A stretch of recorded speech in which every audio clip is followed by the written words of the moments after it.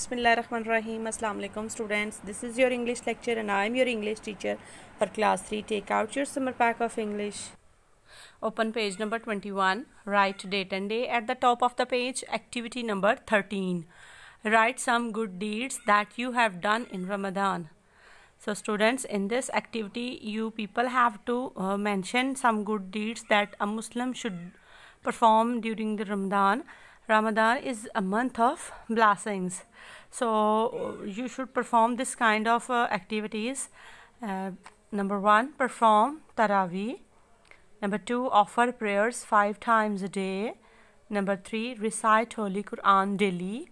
Number four, stop fighting and abusing. Number five, complain less. Number six, help your mother in Sehri and Aftari. Number seven, don't tell a lie.